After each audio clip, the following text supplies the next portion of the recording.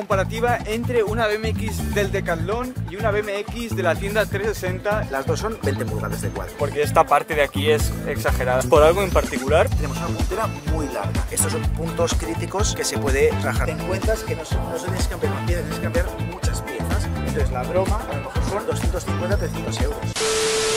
¿Qué pasa chavales? ¿Cómo estáis? Hoy nos encontramos en Barcelona con Pela de 360, ¿qué en tal? la calle, en la calle, que le gusta más abrir en la calle que... Es que como esta luz no hay ninguna. Y bueno, hoy vamos a hacer una comparativa entre una BMX del Decathlon y una BMX de la tienda 360, es decir, una BMX original o cómo la podríamos catalogar. Bueno, una, una BMX. De Bike Shop. Una BMX de primer precio.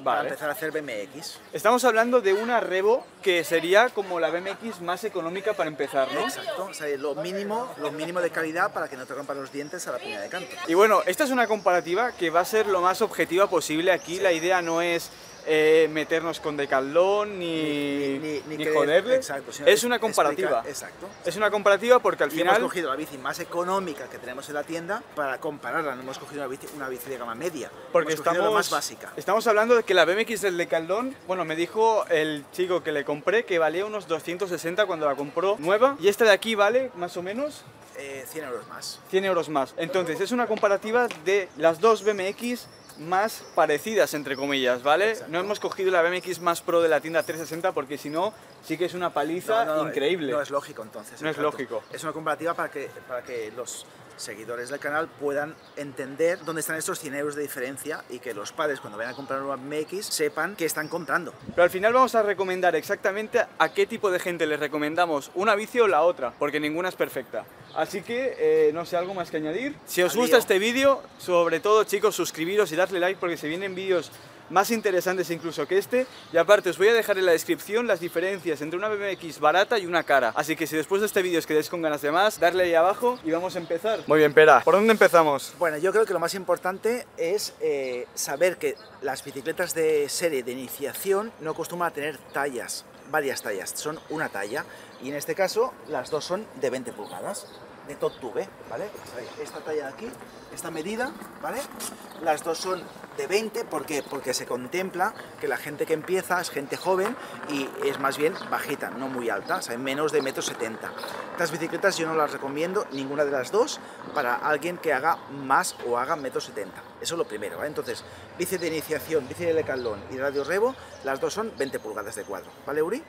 Entonces, bueno, una forma muy fácil de, de empezar a describir la bici es de adelante a atrás, ¿te parece? Que vayamos comparando la parte delantera de una y de otra. Perfecto. Sí, mira. Pues lo, lo que más me sorprende a mí, sobre todo, que justo me he dado cuenta ahora, es la puntera, ¿vale? Eh, si os fijáis, la puntera es súper larga, casi casi hace 40, ¿vale? 4 centímetros. Cuando aquí hace 30, que es un normal, o hasta ahora ya hay horquillas que son más pequeñas, porque como la gente quiere hacer más street, queremos punteras pues de 20 o de 25, ¿vale? Entonces tenemos una puntera muy larga. ¿Esto qué nos hace? Que la bici sea más estable, pero también... eh, poco hábil o, eh, a la hora de, hacer giros en muy poco espacio o hacer nose.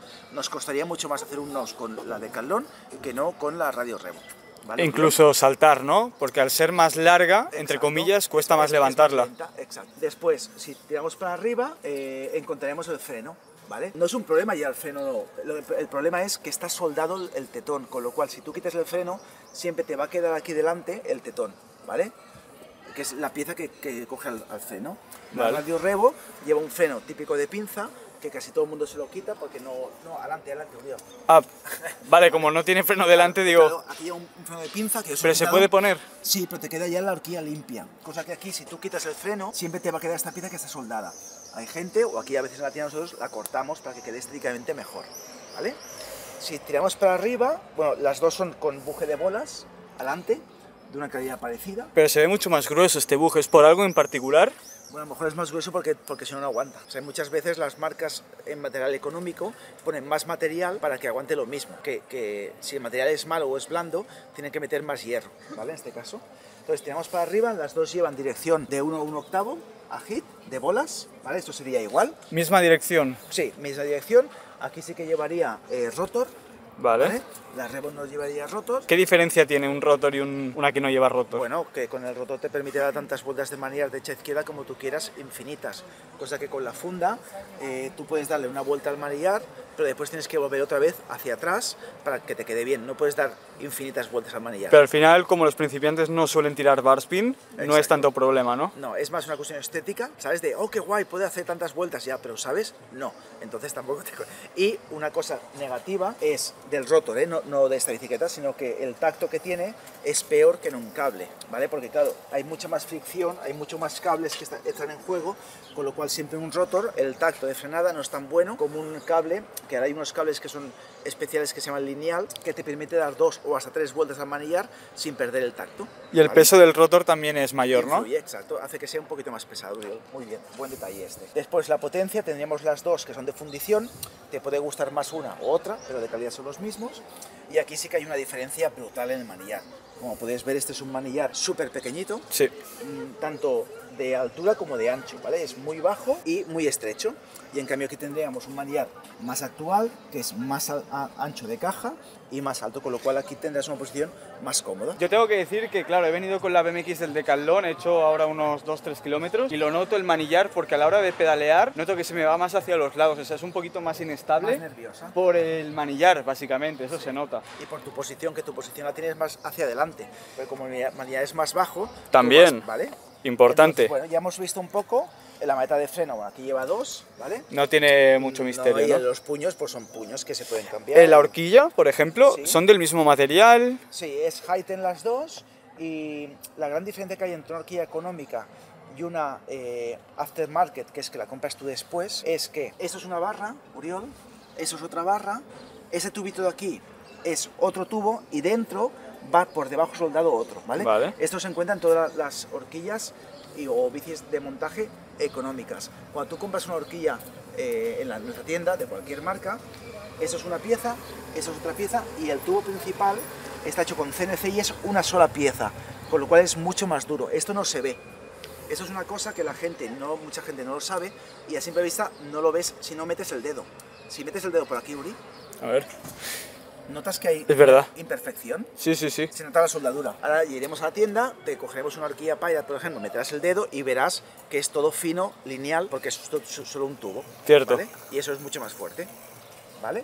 Pues bueno, ya habíamos hecho la parte delantera. Principal diferencia, al final, el manillar, ¿no? Podríamos decir. Manillar, el freno delantero, la horquilla, la puntera, que es muy larga, serían las tres cosas un poco negativas respecto a una bicicleta un poco mejor, pero de la misma. ¿Hay algo que la BMX del Decathlon sea mejor que la de la de Bike Shop en la parte delantera? Si te gustan los catadiópticos o la cubierta de, de color, pues sí, pero no. ¿Qué tal las cubiertas? ¿Son parecidas? Eh, sí, la cubierta de calidad sería un poco parecida, ¿vale? Lo único que ya sabéis, que ya hemos dicho aquí en tu canal varias veces, que el- las cubiertas de color o los puños siempre son mucho más bonitos, a gusto colores, pero pierden las propiedades antes que no eh, una cubierta completamente negra. Entonces, más resbaladiza también. correcto. En menos tiempo pierde la- las cualidades porque al tener pigmentos no es 100% goma, entonces eh, no, no tiene un grip tan bueno en- y una vida tan larga. Sí que la cubierta dura lo mismo, pero no coge igual. ¿Vale? Vale. Ok, pues pasamos al cuadro, ¿no? Vale, pues bueno, vamos para atrás. Vamos al cuadro. Aquí no tienes que ser un experto, ¿vale? Para ver que estas soldaduras, ¿vale? Son un poquito más toscas que no estas de aquí, que son más finitas y se ve el cordón, ¿vale? Pues yo a priori noto que los cuadros no están tan mal, ¿eh? Esta es la nueva BMX del Decathlon y creo que es un poquito mejor en cuanto a, a No las re- anteriores. No recuerdo cómo era la otra, pero me alegro que sea mejor. Un poco, o sea, Vale. tampoco digo porque esta parte de aquí es exagerada, esta parte Sí, del aquí cuadro. Llegaremos a la parte de atrás, ¿vale? O si Sí. quieres, mira, lo podemos... Cuadro, hacemos el cuadro en general Sí, ahora. Bueno, el cuadro tenemos unos cuadros muy parecidos, este es un poquito más alto, ¿vale? De caja de pedalier, y las vainas traseras son muy largas. Claro. ¿vale? Respecto a- al, al radio. ¿Esto en qué puede afectar? En algo traducido a truco. Bueno, que si, si la bici es, es más larga, es más estable, que es lo que hemos dicho antes, pero también a la hora tú de girar, la bici es mucho más lenta y te va a costar más. O un manual puede costar mucho más de levantar, ¿no? O sea, hacer más un wheelie. Claro, tienes que hacer más palanca. Y después otra cosa, mirar esta puntera, lo grande que es y lo agujereada que está. Esto sí, si realmente utilizamos los PECs, estos son puntos críticos que se puede rajar por aquí. Ah, o sea que es un punto débil, ¿no? Bastante Claro, importante. exacto. En cambio, a ver la otra. La otra, como puedes ver, es una puntera muy, muy pequeña y muy compacta.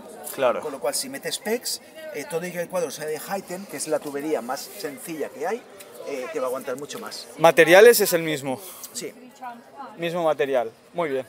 ¿vale? ¿Algo más que decir del cuadro o...? No, las dos son cajas de pedalier USA, que ahora lo explicaremos qué es. Y bueno, esta chapita, pues personalmente a mí no me gusta nada. Qué fea. Exacto. Y también, pues lo mismo que hemos dicho.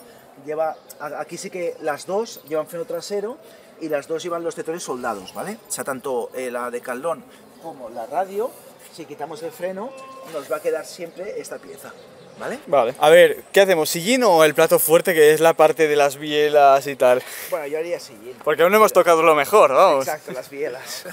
sí, el sillín, mira, es muy parecido a los dos. Son combo. El combo es que el asiento y la barra están enganchados. Bueno, este, este aquí le, le han puesto un- una luz, ¿vale? Pero bueno, esta pieza y esta van en- encoladas y es, los dos son, son igual. O sea, y es, es la misma calidad, con lo cual... A ver, cuál, es- os voy a decir cuál es más cómodo, en mi opinión, o si es lo mismo. Este es durito. Bueno, es un poco más cómodo este, pero tampoco Sí, hay es- tanta poquito- diferencia. Es un poquito más blandito, pero a nivel de calidad, Uriol es lo mismo. Vale, y ahora el plato fuerte. eh, El, plato, fuerte. ¿vale? Aquí, chicos, vais a ver la principal diferencia Sí, mira, entre hay- una BMX sí, del Decathlon. diferencias bastante potentes, ¿vale? Sí, las giramos para, comparar. Que es que, como podéis ver, ya tenemos un plato enorme, ¿vale? Muy grande, porque lleva un piñón atrás Enorme también. enorme que va roscado, ¿vale? Eh, que es como las bicis antiguas, antiguas, antiguas, antiguas. Entonces, aquí ahora ya llevamos ya un plato de 25 dientes con un driver de 9 dientes, que esto es como lo actual. Pero las dos son de bolas, ¿vale? O sea, la, la calidad de de- del rodamiento, las dos son de bolas.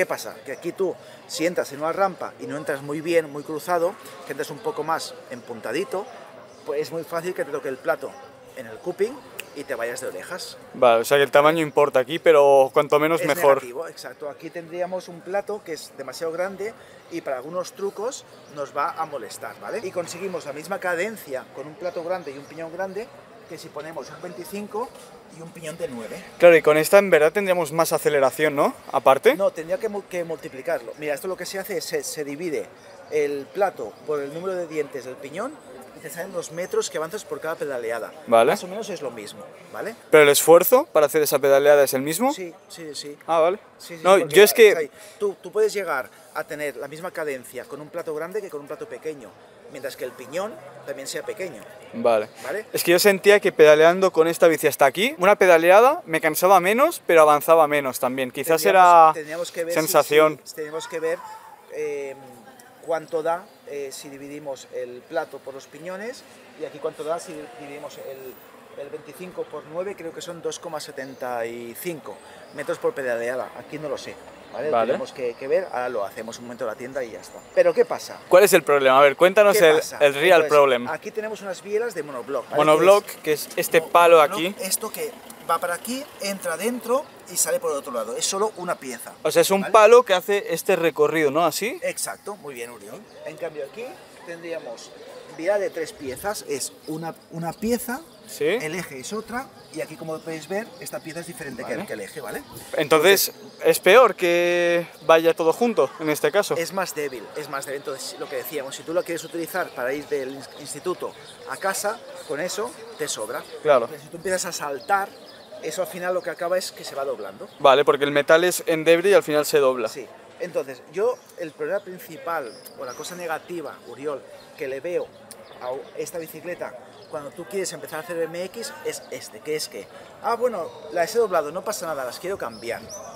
Entonces, ¿qué pasa? Que estos pedales, la rosca es pequeña, no es la estándar. En cambio, aquí este pedal es rosca estándar, con lo cual ya no solo tienes que cambiar las bielas, sino también tienes que cambiar los pedales. Hay que recordar la serie que hicimos hace unos cuantos años de BMX del Decathlon, que la fui mejorando contigo. Y me acuerdo que a la hora de cambiar esta parte de aquí, tuve que cambiar también la rueda trasera, vamos. los pedales, y al final no es cambiar esto que a lo mejor son 200 euros o 300 aquí, igual que en esa, sino aquí esto y encima también la rueda trasera. Porque claro, cuando tú quieres cambiar las bielas, que dices, va, pues ya le quiero meter plato pequeño.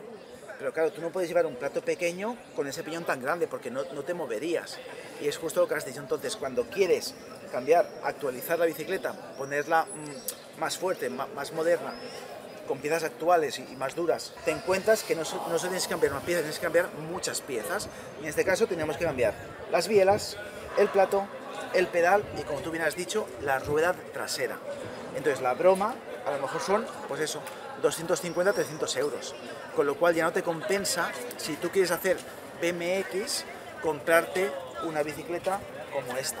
Porque te vas a gastar más dinero que si no de buenas a primeras te compras ya una bici que vale 100 euros más. Muy bien. Pero repito, ¿eh? si tú solo la quieres para ir del instituto a casa, de casa al instituto, es fantástica. ¿Algo más? ¿Rueda trasera? ¿Hemos hablado todo? ¿La rueda trasera es igual? No, es, bueno, menos es, el... es mucho peor porque eh, aquí el piñón va roscado, ¿vale?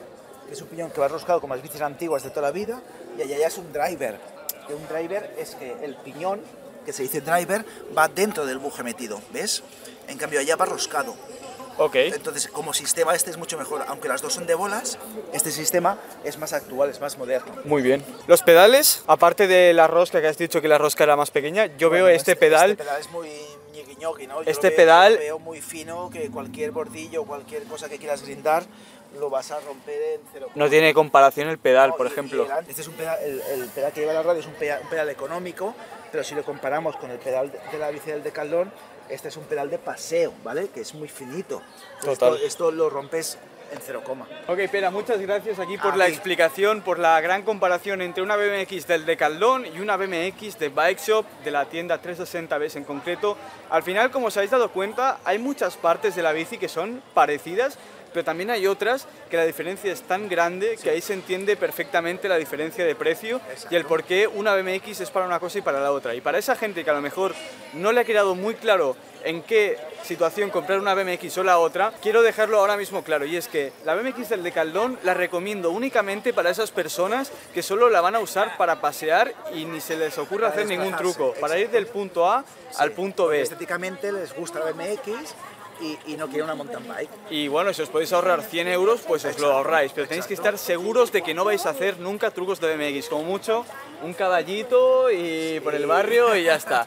En cambio, una BMX de Bike Shop, en este caso la Radio Revo, que es de las más económicas, de 20 pulgadas, la recomendaríamos a alguien que quiere empezar a hacer trucos de BMX, Exacto. que está seguro que quiere hacer trucos o que está casi seguro, ¿no? Porque si No. estás casi seguro, mejor piénsatelo un mes más antes de tomar la decisión, que no te que su arrepientas. nivel es Pero con esta BMX podrás empezar con una cierta seguridad de que no se va a romper la bici en la mitad. Exactamente. Y claro, también esta BMX lo bueno que tiene es que si tú luego quieres ir mejorándola porque te gusta el BMX y quieres seguir haciendo trucos, te va a ser mucho más fácil hacerle cambios que no comprar esta. Decir, hostia, es que quiero hacer trucos y empezar a mejorar esta. Te va a salir mucho más cara mejorar esta bici porque todos los componentes, la mayoría, pues van entre... Puedes cambiar uno sin cambiar otro. En cambio, solamente el plato. Puedes cambiar solamente... Entonces, tener eso muy en cuenta me gustaría chicos que las demás vayáis a la descripción del vídeo porque tenemos un vídeo de las diferencias entre una BMX buena, es decir, una Pro y una BMX más barata. Y ya por último chicos, si estáis interesados en comprar una BMX para hacer trucos, usar el código INGLADA en la tienda 360BS, que bueno, está bien porque por ejemplo esta bici, si vale unos 300 y Pues bueno, pico y tal, 10%. pues son un buen dinero de descuento, o sea que... 30 euros que te puedes comprar unos pegs. O unas protecciones para no unas hacerte protecciones, daño. Unos puños, una cámara, sí, sí, claro. pero también en zapatillas, que ahora han Y llegado unas todo, zapatillas muy chulas también. uf, preciosas. cualquier duda que tengáis, eh, antes de comprarla, yo trabajo mucho con Instagram, es ahí, consultarme, preguntarme para estar seguro de que lo que os compráis es lo que necesitáis. Y ahora ¿vale? aparte envías a Europa, ¿no? Ah, sí, es verdad. Hace Envías a Europa 10 hace días poco. Hemos empezado y muy contento porque hemos enviado a Portugal, a Francia, a Rusia y a Italia. Muy bien. Sí. Pues nada, ya sabéis, si alguien de aquí vive, yo qué sé, O tiene un en amigo, Bélgica. familiares, claro. Y sí, pues ya está, recomendada. Y también las Finger BMX, que también hay Tanto envíos, ¿no? scooters como O Finger. BMX. Claro, hay de todo. Así que Sí. chicos, se me está muriendo el brazo, así que nos vamos a ver Esta, en el esta siguiente juventud vídeo. no me aguanta nada, hombre. Bueno, estate así dos minutos, a ver quién aguanta más o Nada, menos. no pienso estar así dos minutos, ¿eh? No, vamos a cerrar ya el vídeo. Ir a la descripción para ver el vídeo de BMX barata versus cara y nos vemos en el siguiente vídeo, chavales. Boom fresh.